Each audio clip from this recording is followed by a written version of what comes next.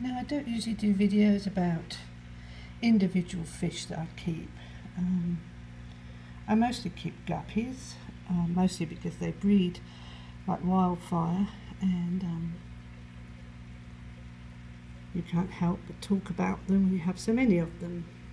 I don't even know how many I have. But I have to say that the fish I enjoy the most and the fish I'm so glad that I ended up picking up were these um, Madagascar rainbow fish. They are the most fascinating fish I think I've ever had.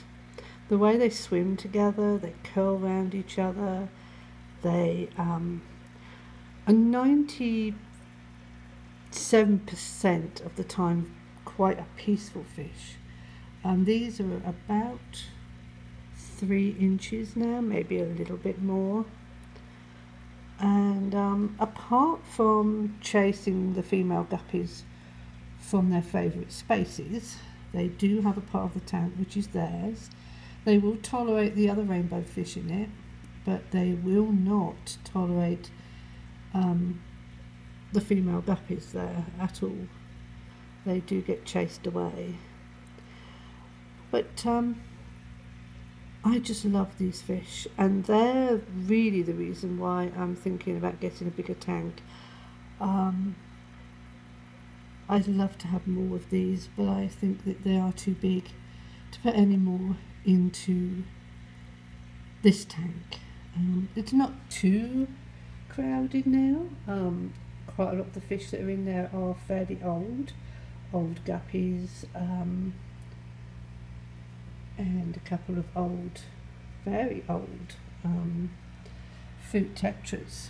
I mean, how these live so long, I don't know. They have such a terrible start in life, but they've done quite well.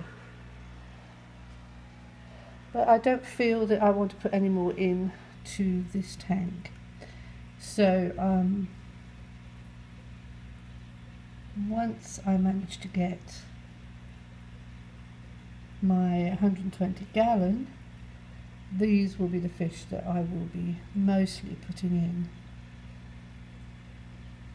And of course Victor. I did worry quite a bit when I started to put the rainbow fish into this tank because Victor is not always the most patient of fish. He can be.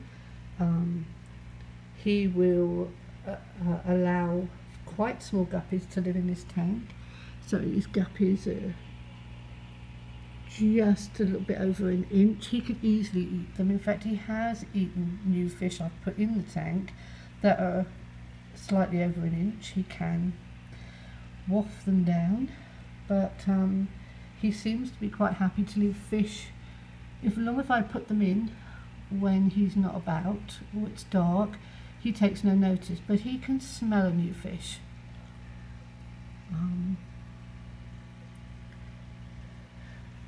but getting back to these Madagascars, I would highly recommend them if you have a big enough tank. The bigger the better, I should imagine. And the more you can have of these, the more of a display. The, the colours that shimmer, shimmer? Whatever. I need new teeth. Um, they are just so beautiful. They're beautiful all day. I find my rainbow fish um, are beautiful. My Australian rainbow fish are very beautiful first thing in the morning when the sunlight's on them, but then they get a bit dull the rest of the day. Um, my turquoise are in his spawning mood today. He's been like that all, all day today. He's been after the girls. Um, but these are beautiful all day. They're absolutely an amazing fish and so easy to keep. Um, you know, so easy. They eat whatever I put in, they, they're not fussy, they're happy, they're growing, they're, you know, they just seem to uh, really enjoy being together and to watch them swim together on an evening when I turn the lights down. It's quite amazing. They swim together like um, they're doing a ballet.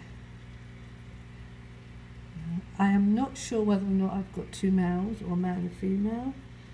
Um, they both seem to be very colourful in their own right. This one is very, very dark and this one seems to have a more orange effect. So I wouldn't like to say what sex they are.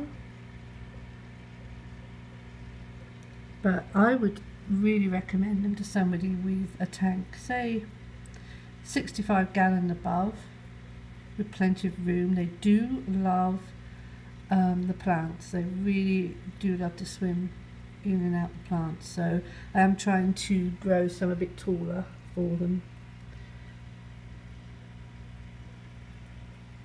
But that is my um, recommendation. Um, I don't know if anybody knows more about them than I do, which must be anybody really, because as I said, I've never had them. I bought them at PetSmart. They were the last two left, and they were impulse buy. Um, and it was the best. Uh, I think they were six dollars for the pair that I um, have spent. They're also very curious. They do like to come up to the glass when I'm here. So they are quite easy to film. They do like to show off.